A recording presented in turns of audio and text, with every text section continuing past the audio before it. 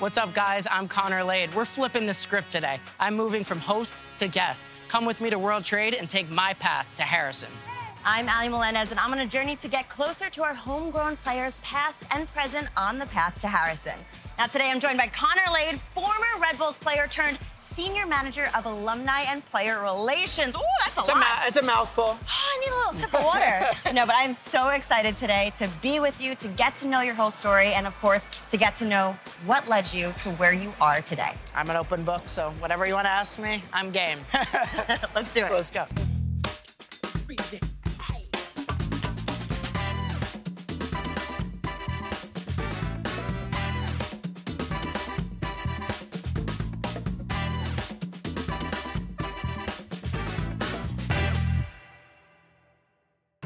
So here we are at Exchange Place, the first stop on the path to Harrison. Exchange Place isn't that far from Morristown, where you grew up. So talk to me about what it was like growing up in Morristown, New Jersey. It was great. I got a super athletic family. Actually, my my dad played baseball in college. Um, my mom played tennis in college, and my parents sacrificed pretty much every single weekend to be all over the state, country, sometimes internationally. So uh, yeah, I wouldn't be in the place I would, really I got to without them. So you were thrown into sports, whether you liked it or not, but thankfully you loved it and you fell in love with soccer at an early age. So talk to me about some of the early organizations you played with. My first club I ever played for was in Madison YMCA. I actually had a travel team. Honestly played there for a long time. And then a lot of my friends were playing over at Morris United, which is now SDA. And so I went over there afterwards and then played with a couple smaller clubs, which it's actually come full circle now that a lot of these smaller clubs that I played for are now affiliates of the Red Bulls uh, youth programs. And so TSF Academy was the, the team I played for before uh, jumping to the Red Bulls. And I was really torn, actually, because I played baseball for a long time as well, and that was very prevalent within my family. And I played baseball up until sophomore year of high school. How did you make that decision ultimately to go into soccer? I decided, you know, I think soccer had the brighter future for me. And, um, you know, my parents obviously were totally on board with whatever I wanted to do. They never limited me or, you know, steered me in one direction. They let my heart kind of decide where, where I wanted to take things, and they were going to be along for the ride. I wasn't a, a, big recruit coming out of, of high school. That's when I did join the Red Bull Academy, and I went for a trial. Fortunately, I made it um, to the U18 team, and it was a little bit of a shock to me because it was the highest level I'd played at, and I was it was big for my confidence as well to step out of my comfort zone. You know, I, I had watched the MetroStars Academy, the Red Bull Academy growing up when we'd be at similar tournaments, and when I'd sit down and watch them, it was just the, those guys were pretty much pros to me because it was such a high level. And, you know, being immersed inside of it and uh, getting opportunity to represent the club, it was something I'll never forget. Oh, such a good story. All right, I'm going to pause you here for now. We're going to hop back on the path and head to Grove Street for more, and maybe we'll get some water. Let's do Let's it. do it. It's a hot day. Parched. Let's do it. Parched.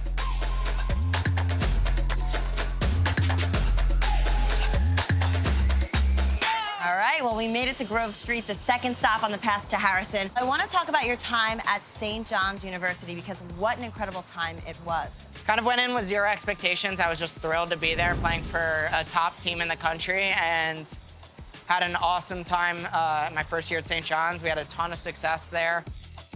And in the summers, I'd come back and play with the Red Bull U20 team. Non-stop for you. That was it. We, you we, had to keep yeah, it that, that going, it. but that it. is exactly why you became who you became. That's it. And so we, we actually won a, a Super Y League national championship with the U20 team.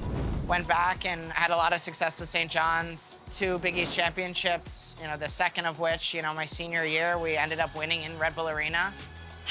Defensive MVP, defensive MVPs. Not gonna say it for himself, so I'll plug that for him. That is not anything that you should overlook. That is incredible, incredible thing that Yeah, happened. it was it was awesome. About a month after we won that championship in Red Bull Arena to become the fifth ever homegrown signing to the Red Bulls, you know, December 5th, 2011, I'll never forget that day. I was actually preparing, I didn't know if I was actually gonna be signed. Wow. I was preparing myself to go down to the combine and, you know, fight for a spot, get drafted, but uh, it turned out that they let me know and uh, honestly, it was one of the best days of my life. What was that moment like? Like, what were the feelings there for you when you were signing that contract? It was really surreal. It felt like an out-of-body experience, and Probably had one of the worst haircuts of my life as well. and it was before I actually went to a barber or anything. I think my mom was probably still cutting my hair at the time, so. An agent, but no stylist. Yeah, that's That- it. You know, more important. Baby choice. steps, baby steps at the time. You did a great job. I feel like I'm in that room with you. So good. But before we get into the early days and that first season, we're going to meet you back at Journal Square. You ready? Let's do it. Let's do it. All right, we made it to Journal Square, and we're getting right back into it with your first season as a Red Bulls player. What was that like? We know the feeling, but now Yeah. you're an actual player. Let's begin. Yeah, it was surreal, really, walking into the locker room Yeah. in preseason and just dapping up Thierry Henry, and you know, we're teammates now. I think that guy recognized you. Yeah, that's, that's my Red Bulls guy over fan. there. That's my guy. I had a pretty good preseason. I think I scored a goal in preseason, and so I was like, all right, things are going pretty well.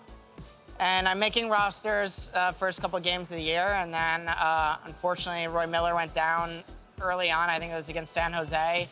I, who am I kidding? I know exactly. It was against I know. San Jose. I think I made a goal in But- preseason. I think it was against No, San Jose. but- yeah, I don't remember how many games in the season, but he goes down and my number gets called. I remember warming up and Sean Ruiz, kit man, he just holds my jersey up from down the line and again, the same heartbeat. yeah. It started racing again. And so I I just remember looking at as I'm running on the field and looking up to my parents sitting there and I just can imagine the emotions was running through their minds. And for me, I mean, it was, yeah, one of the best moments of my life. Yeah, Uh, you rode that wave from the yeah. first time you were in, you were in. It was such a good season. Yeah, so it was uh, honestly, I couldn't have drawn it up any better. And the second year was was a rough one for me.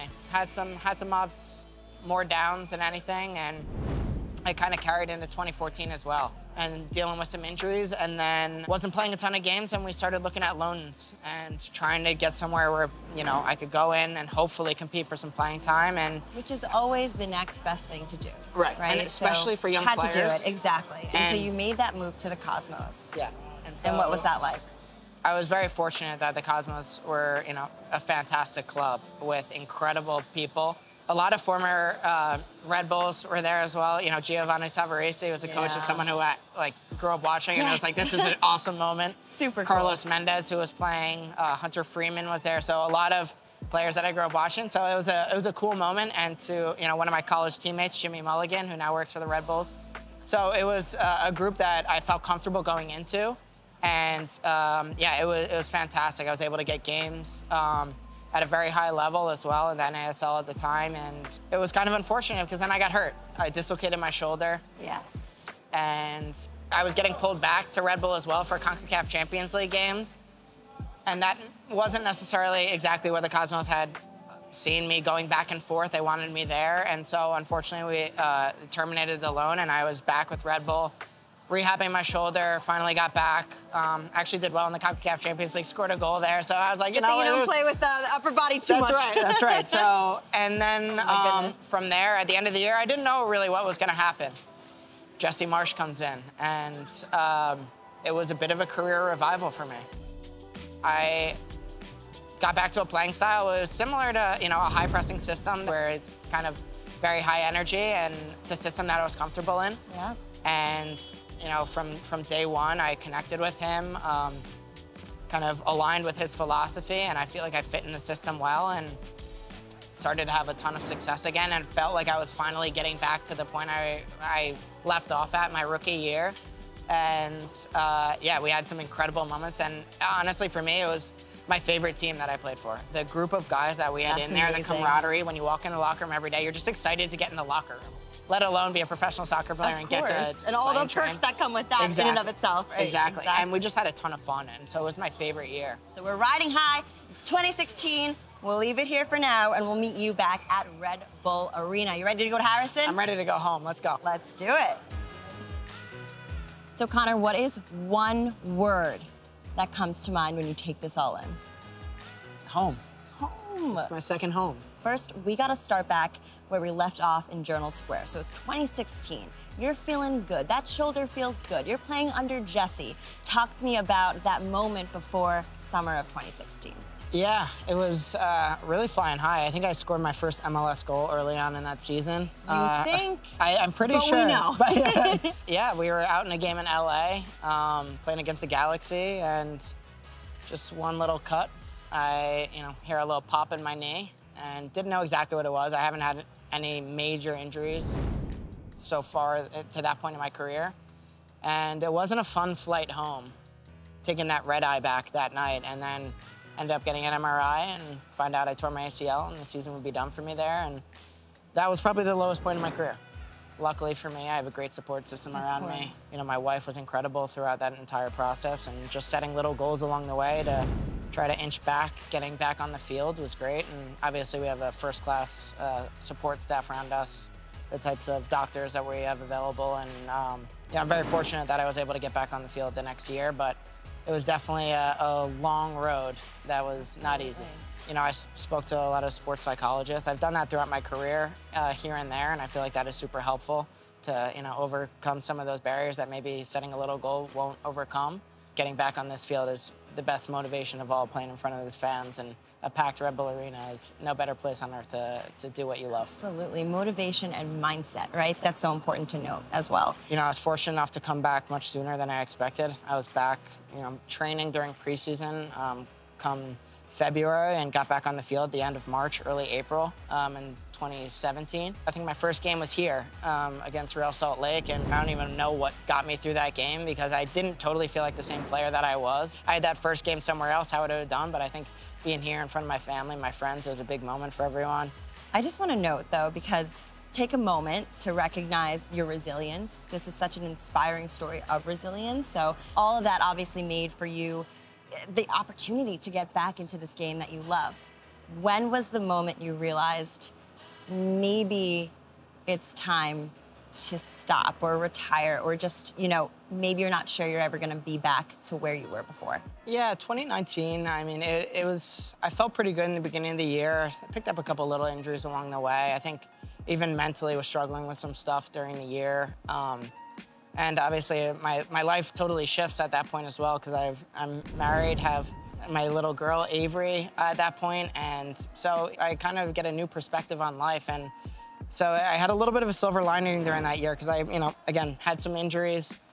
You know, maybe wasn't traveling during the summer. Um, you know, and you know, I was fighting my way back into the roster, and uh, that's when I started opening up the talks with uh, the front office about kind of life ahead.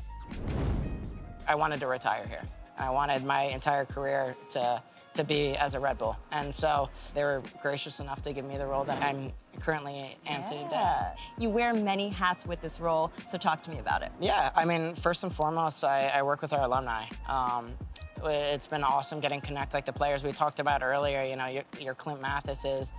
Um, you know, a lot of my former teammates who, who I've played with, you know, a lot of legends who have played from this club before, getting to connect with them on a personal level, getting to bring them back and experience a game, you know, from, you know, now that they're separated from, from the club and getting to do cool little things along the way with them uh, really makes this job a ton of fun. There have been so many highlights for you here on this pitch, but what are some special moments that maybe we don't hear often? Doing something that I always watched players do and I wanted to do throughout my career before I before I retired was walk around the field with my child. Getting Avery down here after I scored, um, you know, getting to walk her around a couple times around Red Bull Arena, you know, always waved up to my parents. They always stayed to the end of the match until we walked around the field because they'd always be one of the only ones in 226. I'd always, you know, blow a couple kisses up to them and thank them for everything they did for me to put me here. It's more so family moments for me. I, a lot of special things on the field, but I think those are the big ones that stick out to me because they're the ones, you know, that, that mean the most to us and be able to, to really, truly make this our second home. I love it. I love stories like this. It comes complete full circle with being here, you know, supporting this organization, and now what it is today, being a part of it, is so, so special. So, Connor, thank you so much for your time today. This has been so much fun. Thanks, Ally. This is great. Thanks Yeah. for sharing my path with everyone. Absolutely. Well, Connor Lade's Path to Harrison, there it was. Thank you so much for watching. I'm Ally Melendez. I'll see you next time right here.